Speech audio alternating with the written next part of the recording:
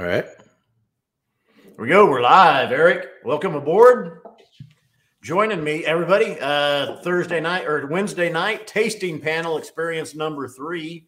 Joining me from California. You've seen him on the show before. He could be a bagpiper, but we call him the sniper. and now I'm the Scotch Malt Whiskey Santa. Ho, ho, ho. But no, uh, we do. We uh, Bart and I started calling you the sniper years ago just because of your comments. You, you're always in there and commenting, and you just come up with some great, funny one-liners, and it's like it, you know, just sneaks up on you, and then boom, you get shot. Well, some of them are great, some of them not so much.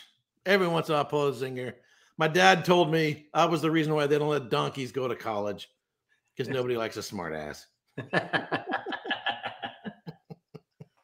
That could be. That could be. Could get you in trouble in boot camp a little bit with the drill instructors. Yeah. I got yeah. some smart aleck comment on your mouth. Yeah, we've been there. I can remember I went to boot camp at probably well, it was after you, I'm sure, 1988. I was in boot camp and I still remember a lot of that experience. Yeah, yeah, yeah, yeah, yeah. but no, so we've got tasting panel experience number three. We've gone through uh, one and two. This is the third and final release. Uh, Charlie MacLean was in the States and they had these little sessions members could sign up to, and they went and presented them with these whiskeys and they kind of got to pick out, you know, their favorite ones from those oh. tastings. This one, well, let's go through first before we really get into the whiskey. Let's see who's tuning in. We always kind of start with a with a roll call. We had a couple of early commenters. Big Dog was commenting. Um, Erik Wait Whiskey Studies. Duke McHale which is you, by the way. If you don't know, Erik Wait, who's joining me, is a YouTube uh, personality as well under Erik Wait Whiskey Studies. Uh, pretty, uh, what I think is a great story was you started as a wine person, uh, was all up in the wine world.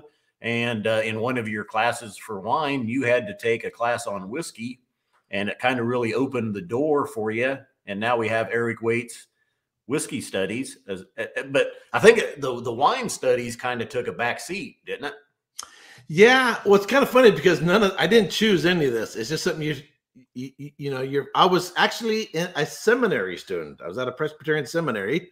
Went to a restaurant with one of my brothers. Tasted some, you know, looking at a wine menu. Might have been written in Sanskrit or something. I not know nothing. But you know, I just want to. I don't want to get into wine. Just want to learn a little bit about wine so I know what to buy at a restaurant or something like that. So I thought, well, I should learn something. So I talked to a fellow student of mine. We went out to the wine country, and uh, I got the bug. Boom! I fell in love with uh, the beauty of the wine country and production. So it just kind of grew. Next thing I know, I should be studying theology. I'm off in the wine country.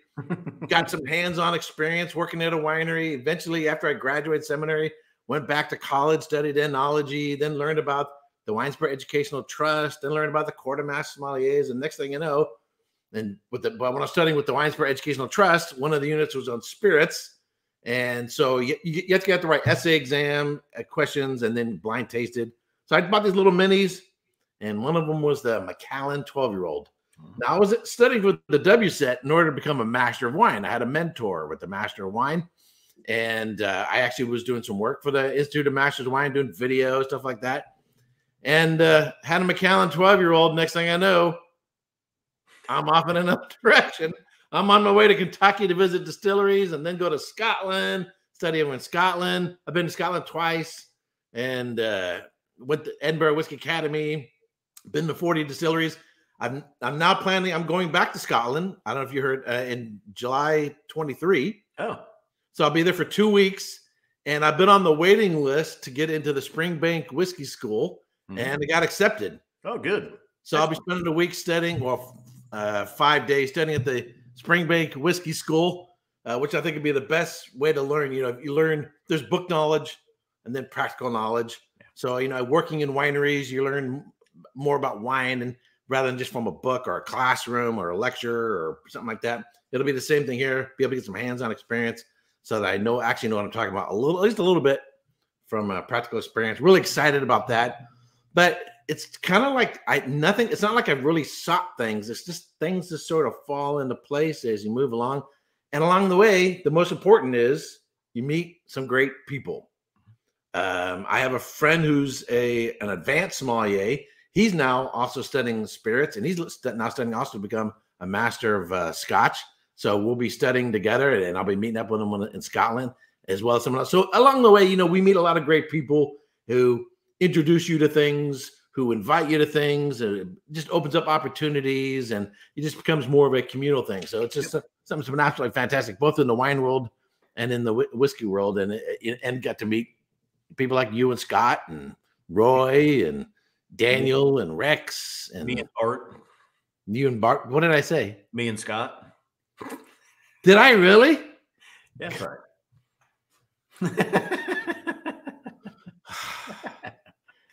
it's been a long day. I can't believe I I, I did I did this last time I had you on. Did you? Yeah, a lot of people. A lot of people. You Bart. Jeez.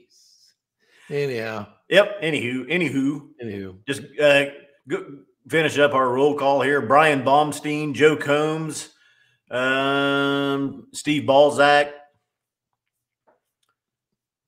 Bird Dog, Michael Gonzalez, Whiskey Franco, George G Cap is tuning in. Mamuka 1977, Derek Allen, Drew Bills. Oh, Drew is in. Drew from the Scotch for Dummies. He'll be oh, uh, Dummies starting is uh, tomorrow night. We're starting a little. We'll have an announcement coming out tomorrow about some live streams on our channel tomorrow and Friday. All right, cool. Uh, Ryan Mercer is here. Jason Jones, C. Brown, Hoyt Hempill, the Whiskey Zone. The Whiskey Zone. I don't know if I've seen the Whiskey Zone before. Maybe.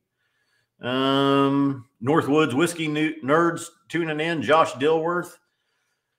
Warren Buff, good evening, everybody. All right, let's get into the whiskey then. I think that's enough of the pleasantries, as we say.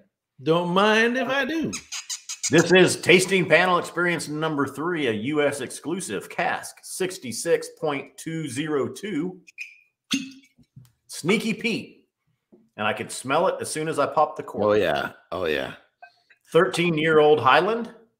Oh, refill yeah. bourbon barrel on this one. Peated category, 59.7% ABV.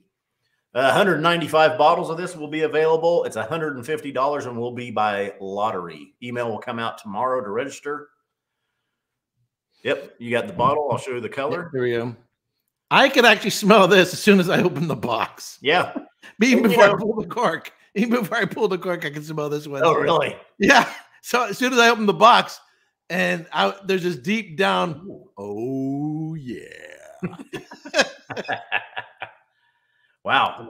Oh, uh, back to the color though. 13 years refill bourbon uh, barrel, and uh, just kind of what you'd expect. Really low, low um, impact, I think, by the wood of that refill bourbon barrel, and just uh, probably get a good look at the the distillery character here as well. So it has sort of a shiny golden, but there's also just a slight tinge of green, depending on the angle you're looking at it. Hmm. And I've noticed that in some of the Islay distilleries that don't use any chill filtering or added coloring to bourbon cask. It's yeah. Sauvignon Blanc can have that as well. You know, I'm always going to bring in some wine. Sauvignon Blanc can have that slight g- green uh, tint to it, but it's sort of a pale gold with a slight tinge of green. Hmm.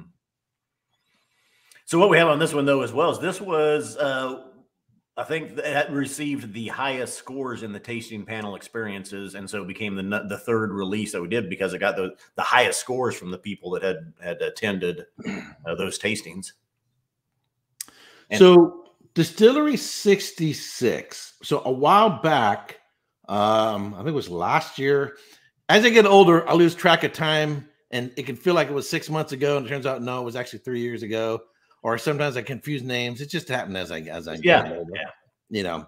But I did a like a several month study of Highland peated whiskeys, and I wanted to compare what are distinctively what's distinctively different about Highland peat than there's about Island peat.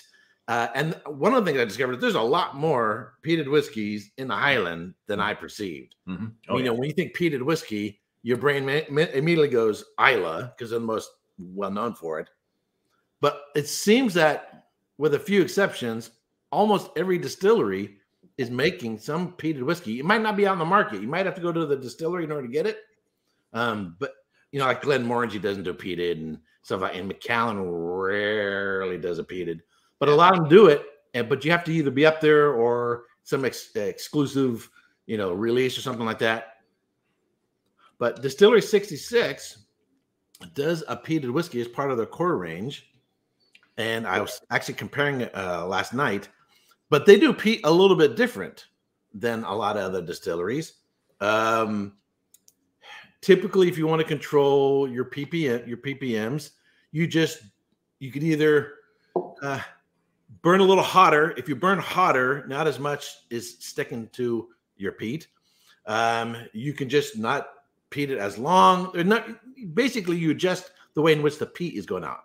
This distillery blends peated and non-peated barley to get to where they want with the with with the peat on it.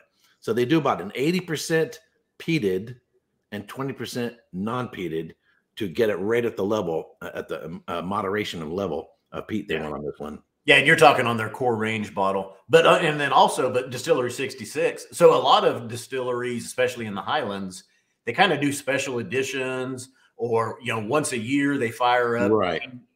Right. Distillery 66 traditionally does peated whiskeys in the right. Highlands. Yeah. Right. And sorry. I was gonna say I was just gonna get into the nose. Did you have something else?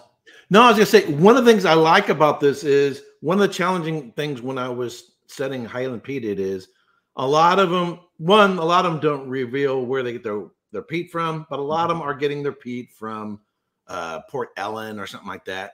So it's really, really challenging to tell the difference between them and an Islay peat.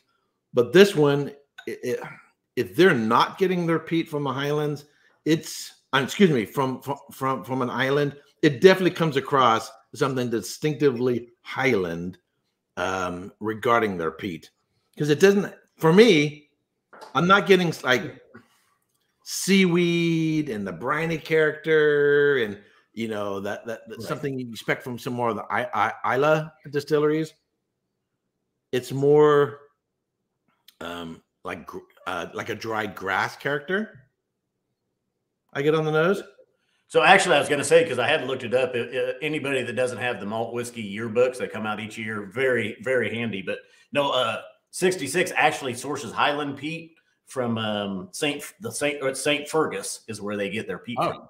So there you go. You got you got in the book. So sometimes and th- that information can be challenging to get. Sometimes it's yeah. not on the distillery website. It's not on the bottle. So you need to find some other reliable third source. So that's excellent. Yeah, and that's what I thought when you started to say that. You know, a lot of times you don't know where their peat comes from. I was like, no, uh, Distillery sixty six puts it out. So yeah, awesome. That's awesome because so some of them I would send them an email and they wouldn't tell me. They wouldn't even respond. Right. But this is excellent. So this is a class. If for no other reason, this is a classic example of what a Highland peat is versus um, an island peat. Whether you're talking Orkney or you're talking um, uh, Islay. Uh, very nice nutty. The nuttiness though on the nose was like the first thing that I thought, and almost blind. I might confuse this with Distillery Fifty Three. Yeah, it's a nuttiness. It's not quite peanut butter. It's maybe a little bit more towards almond, maybe marzipan a little. But yeah, that nuttiness is definitely. I get that on the on their 40 ABV core range at one as well. Yeah, nice. Uh, just nice citrus, sweet, fruity notes, vanillas. Almost could be like a uh, one of our juicy a peated juicy oak and vanilla bottling if we did one of those. Wow, it's almost a uh, a non-lit tobacco character as well, like a dry leafy character. Yeah. Mm-hmm. Yeah, look, yeah, malty, grassy.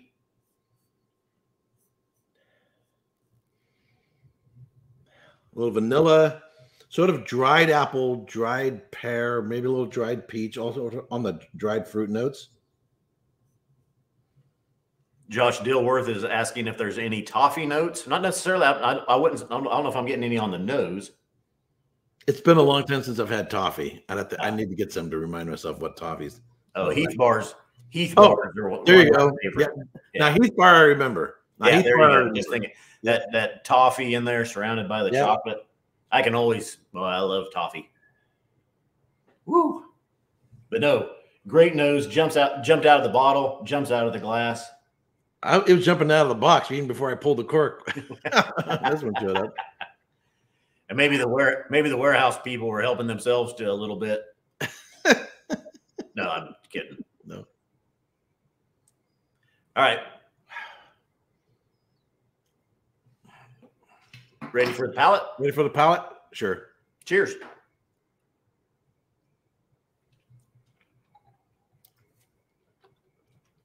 Mm, mm. Slàinte. Mm.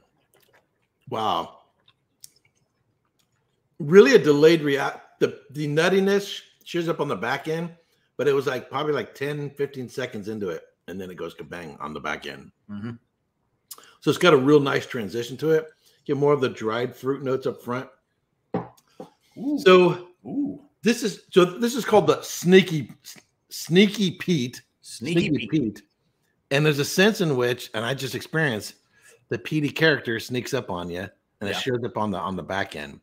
But it's a very moderate, well interwoven peat, but a very non-oceanic, non, you know island character.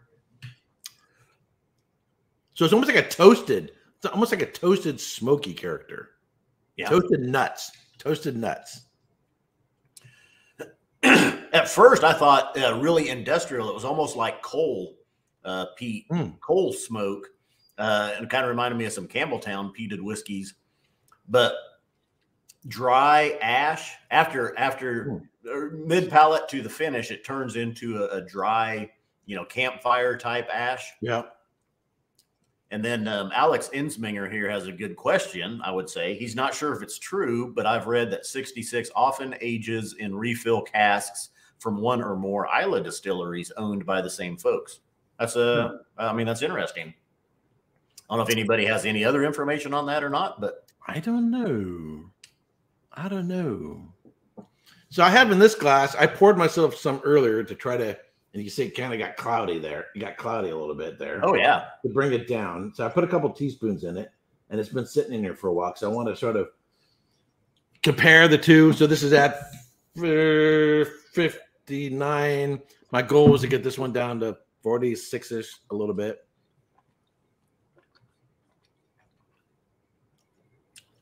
Dan Swank has a good question too. He says, "I just wonder how expensive are the bourbon barrels getting?"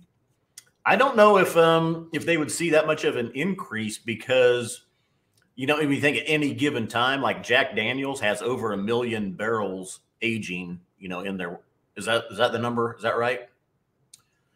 That's what I want to say. I think they do have. Matter of fact, I think that was the number I'd heard at one time. You can just throw it out there. No one's going to fact check you. Thank Oh you. no, so yeah, exactly. Yeah.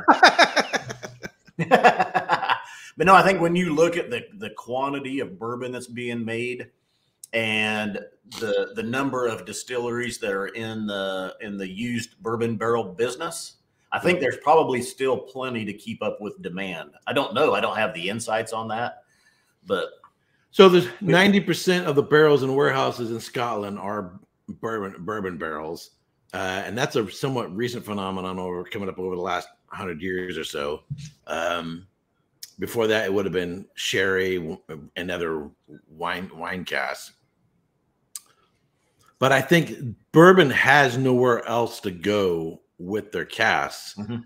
um, as long as they don't change the regulations on the requirements for bourbon casks um, and bourbon is so popular right now. I don't see that there would be a shortage on bourbon casks for for Scott producers. The real challenge would be is if there's a new oak shortage or challenge or transportation challenge here in, in the United States. I think it's more of an issue of the transportation issues than it is the tree issues than the Right. tree. yeah, probably so. So, Yeah. Uh, third sip there on that one. I mean, it really is a very nice palate full. I mean, there's just nice peat. There's nice citrus fruits in there with it, nuttiness, grassiness, ashiness. Very, very nice palette, front to front to back. Yeah. There we go. We'll fix that. There we go.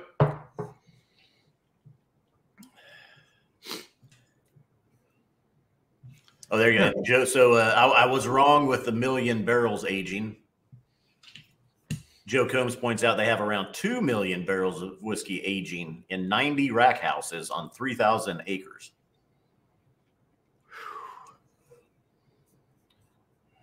Big dog in. He says Scotch lovers owe a great debt to us bourbon guzzlers.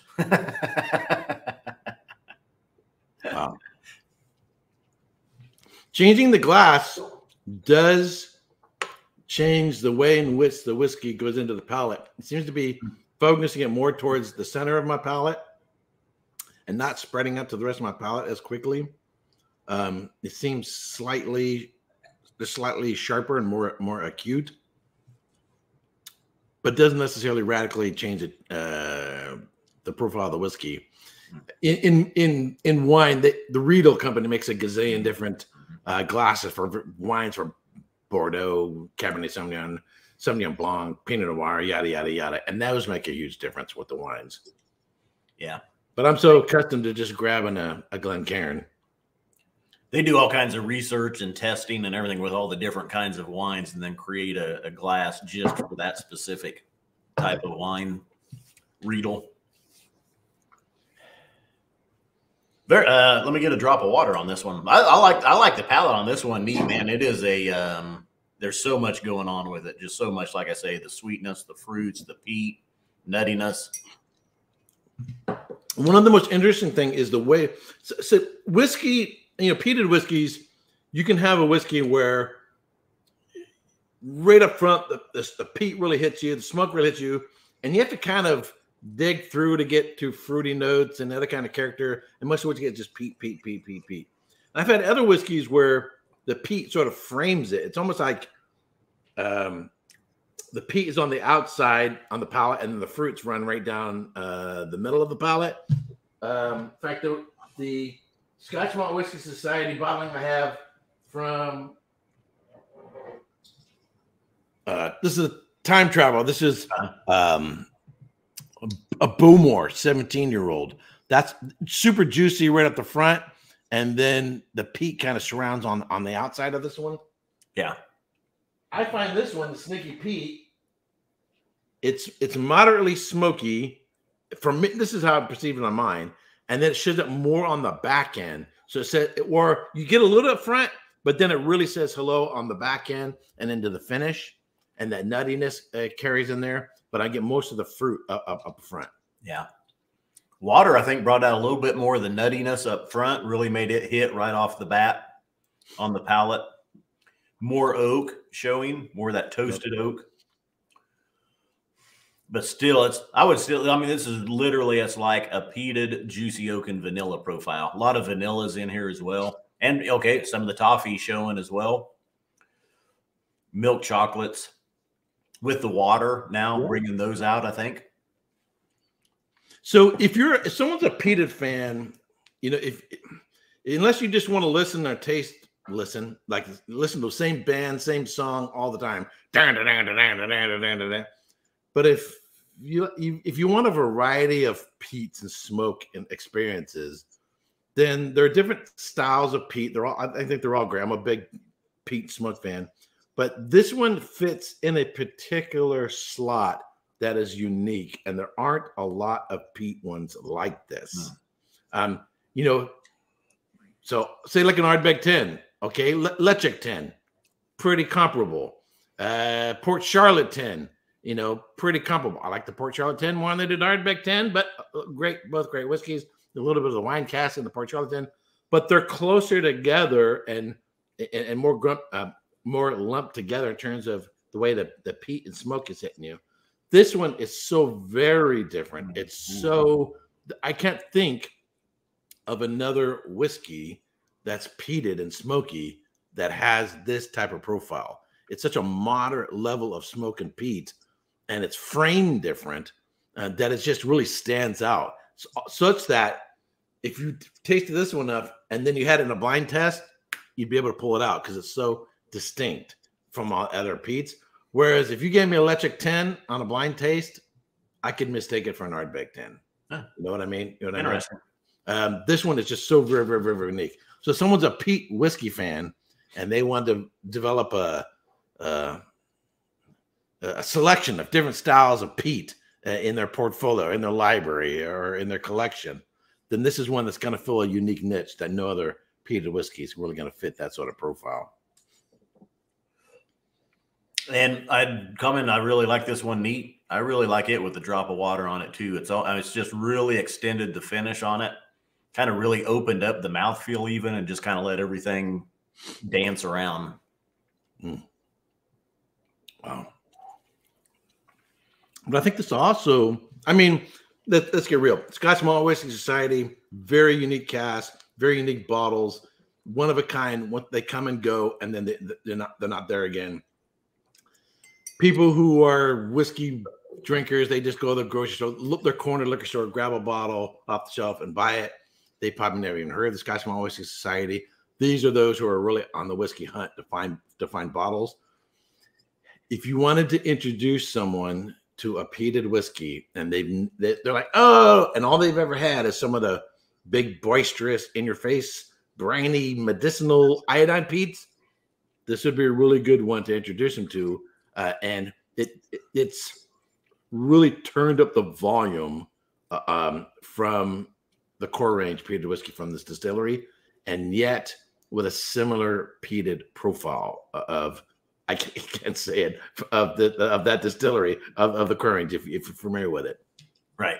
It's just a very in a class by itself kind of whiskey that's just really really really nice. Yeah. And uh, Christmas is coming up, so either for yourself or for a loved one, if if they've been good. I would say with water, the citrus is almost turned more kind of um, stone fruits, almost more peaches and apricots. Yeah, yep. So, so this one I've got water in that. I would say the same thing. I've got water on this one.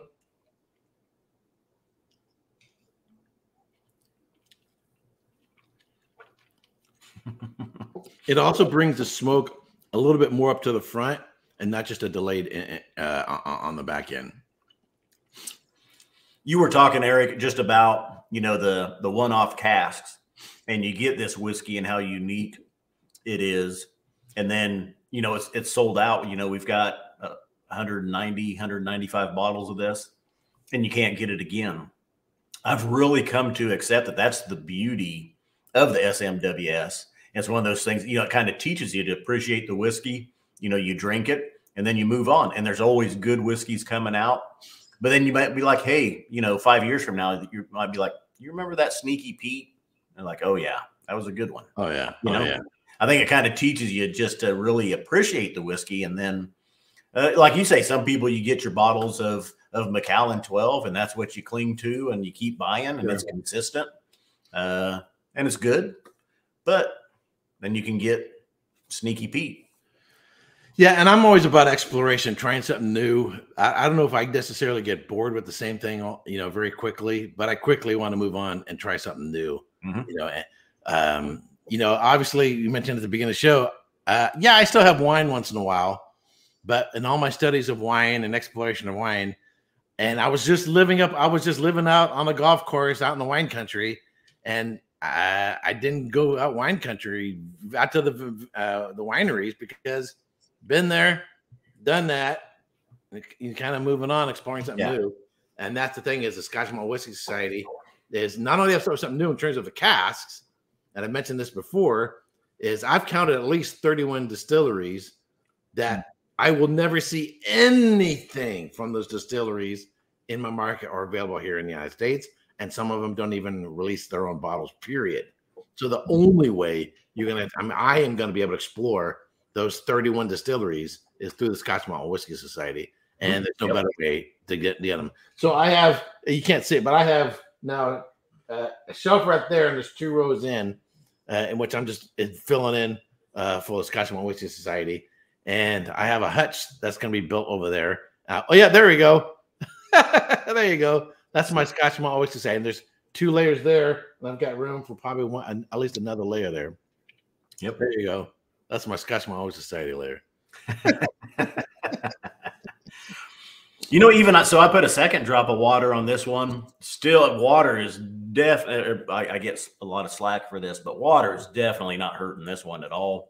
Uh, I am going to go back. I still have a little bit neat here. I poured off to the side. I'll try it. I've had several sips of it with some water. I'll go back and try it neat. And yet, you know what? So this is 13 years old. It's 13 years old. I would say, in comparison to the um, distillery release bottle that's at 40 ABV, not only is this, you know, it's a big oomph in, in terms of intensity of flavor, but I don't think that one, because there's no, it's a non age statement one. I don't think it's got 13 years on it. This Oh. one is showing its time in the cask on it. But the inter- now, obviously, you know, we taste whiskeys all the time. And so it's like if you listen to loud music all the time, you can kind of become, it doesn't really seem all that loud. Um, but I would say, I still today, there's some whiskeys, particularly if they're younger whiskeys, that if they're this high ABV, uh, they're challenging to approach. Yeah. It- you know, you you really not going to drink them at cask strength, uh, just because it's such a big bite. It's so it's such a hard attack on the palate. This one, not a problem at all. Not about problem at all. I, I I I don't get a big bite. I don't get a big sting. I'm not getting a big burn. I'm not getting. I'm not getting like a lot of heat, uh, you know, in here and so forth. Uh, I'm tasting it just neat, perfectly just fine. Yeah. You know, It's del- yeah, it's delicious, neat. And Yeah. real, real- I mean, when you look at the color of this though, and it's a refill barrel, and you think, okay, there's going to be uh very little influence here. There, I mean, I would say the palate on this far exceeds what you would expect from the color of that. You know, Yeah. I mean, there's so much. The, the, the flavors and the notes and the peat, the fruits, all that stuff, the nuttiness that I'm getting. When you look at the color of that and you think, no, there can't be that much in there, you're wrong. There's a lot. So I love it. yeah, it looks younger than it is. Yeah. Oh, yeah. Yeah. It looks younger than it is and it tastes older than it is. Yeah. It, it- yeah, there's no. So one of the things that that casks do and time does is soften the the hard edges and bite of of the spirit. And so if you got more age on it, you can drink it at a higher AB or taste it at a higher ABV because it's not going to have that sort of tack on the palate. And even though that's only quote unquote 13 years old, it's matured really, really nice. It's very approachable Mhm. at this AB at this ABV. You know, so it's it's really, really nice. Uh, JT is asking, Am I reading the small print correctly? This will be a lottery bottle. Yep, just like the other tasting panel experiences. Mm. So we've had way more people put in for them than we've got bottles. So we do that when we have bottles that we think that you know demand is going to exceed um, stock on hand. So it's a safe way or a a uh, um, a a fair way to do it, just to ensure that everybody gets a chance at it. Yep. Yeah. So I think it's it'll run through. The email will come out tomorrow on Thursday. Uh, you'll have till Monday the fifth. Yep, to uh, enter if you want to be uh, registered for a chance to uh, buy this bottle. So you have to oh, so you can't just go buy it. You have to register and then hope you get one. Yeah. Ooh. All right. So so if you've been so if you really want one, and it depends, Santa's gonna check his list, whether you've been naughty or nice, and he's gonna check his list, and maybe you'll get a little help from Santa to get a bottle. Anyway. All right, Erik, uh, the sniper. You could be a bagpiper, but you're a sniper. I'm a sniper. Check out Erik Wait, Erik Wait Whiskey Studies on YouTube. Thank you for joining me, Erik. I know you're busy and uh, had to carve some time out for us here, but appreciate it. And I think you got a great, great palate, great sense of uh, knowledge and everything that comes with the territory. So, Hey, for me, Christmas just came a little early. all right. Well, like they say, uh, remember Scotch Malt Whisky Society whiskeys are not for swigging, glugging, or knocking back. Please drink responsibly. Cheers. Slàinte.